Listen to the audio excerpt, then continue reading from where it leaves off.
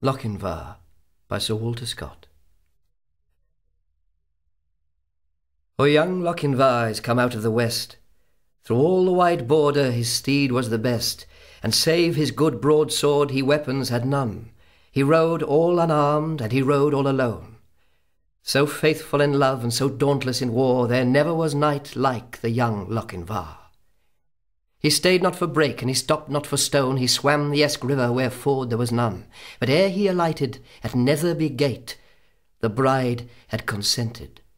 The gallant came late. For a laggard in love and a dastard in war was to wed the fair Ellen of brave Lochinvar.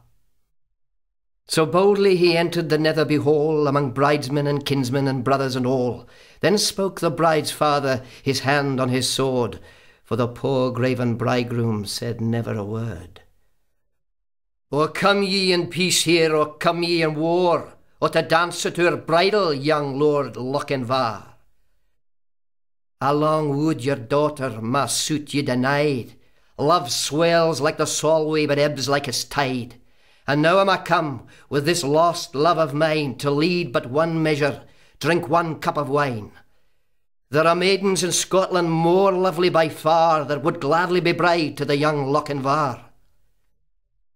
The bride kissed the goblet, the knight took it up. He quaffed off the wine, and he threw down the cup.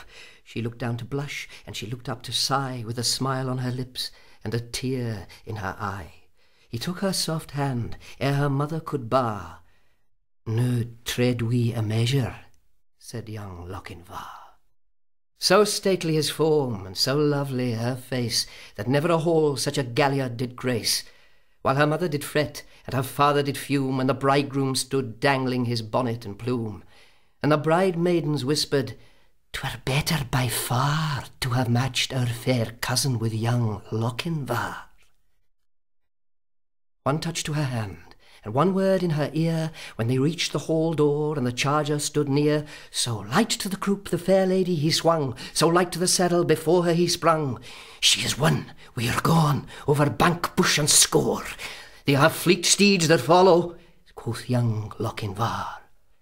There was mounting mong Grahams of the Netherby clan, Forsters, Fenwicks, and Musgraves, they rode and they ran. There was racing and chasing on Cannobie Lee, but the lost bride of Netherby ne'er did they see.